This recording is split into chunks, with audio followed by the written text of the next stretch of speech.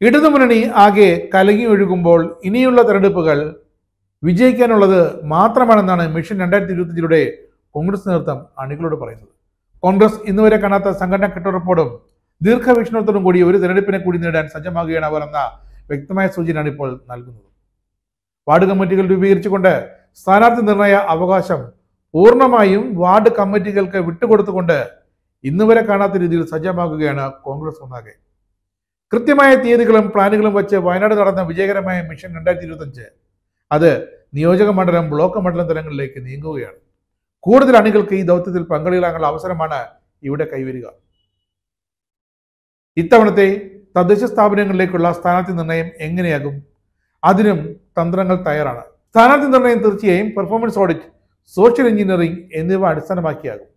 പാർട്ടിയിലെ ഉന്നതന്മാരുമായി ബന്ധമുള്ളവർക്ക് മാത്രമേ വാർഡുകളിൽ മത്സരിക്കാൻ സാധിക്കുമെന്നും അല്ലാത്തവർ മാറി നിൽക്കേണ്ടി വരുന്നു എന്നുമുള്ള പഴികൾ എല്ലാം പൊളിച്ചെഴുതി ഇനി ഇതുണ്ടാകില്ല.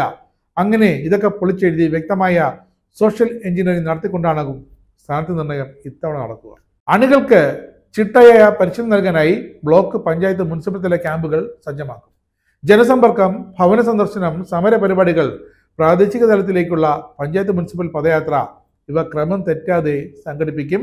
അണികളുടെ പങ്കാളിത്തം ഉറപ്പുവരുത്തും. ഇതിനോടൊപ്പം വികസന സെമിനാറുകൾ പഠന കോൺഗ്രസ് മഹാപഞ്ചായത്ത് ഇവയ്ക്കും കേരളം സാക്ഷിയാകും.